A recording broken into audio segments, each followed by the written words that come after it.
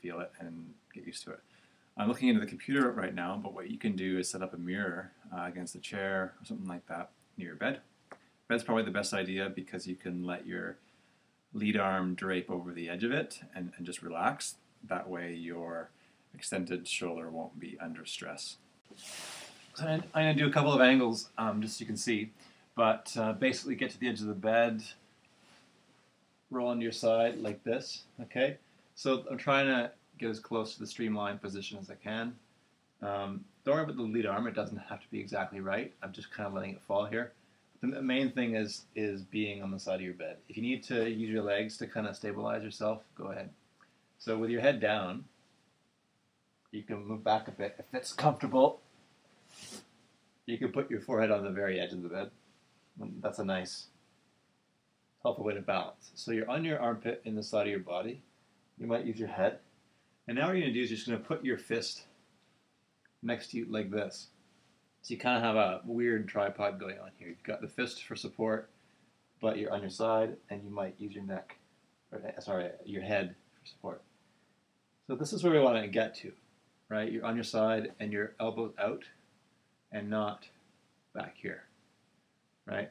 So we're not doing this, we're doing this. So this is the starting point. So this is the first thing you should do. Just get on your side, and from here, you can look up at the mirror or you can look down.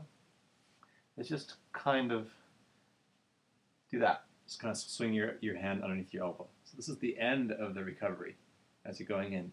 From here, you swing your arm and your elbow back to the side and then let it come into you like that. So here's another angle. Okay, so starting here and swing back down. If you lose the feeling, if you feel your shoulder engaging, just roll in your back a bit and do the same arm in a cast movement that, that you did. So arm at the other hip, lift it up, and then roll a bit back under your side so that you're like this. This is how wide you want to go. So what you can do is actually look at your arm, bring your hand forward, and then just swing it forward like that. So all the time, your elbow should stay away from your body, like it is now, and not go like that, and not have the shoulder do this.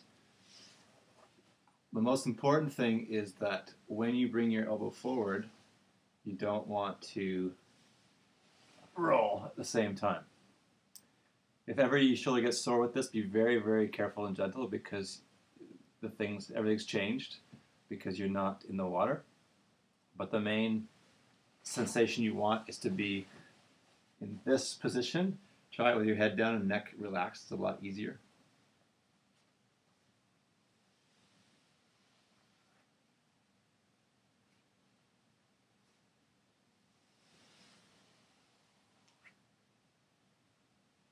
So that's with the hand dragging, so you can really tell. If your hand stays in touch with the, the um, bed, you cannot draw your your elbow over your body, which is the wrong thing to do. So as long as you're here, you can't do this because now my hand's away. So if you do this and just kind of scrape the edge of the bed like that every time, you will end up in the right position. So just do this a couple times, and when you feel like you've got it, just again relax the neck, look down, try it with just your fingertips barely trailing the edge of the bed.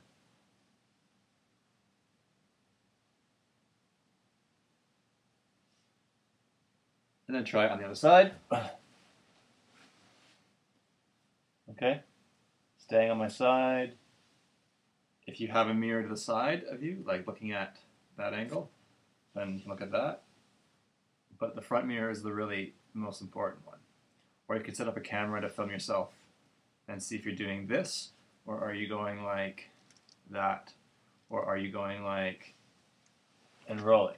So you don't you don't want to move during the recovery. That's it.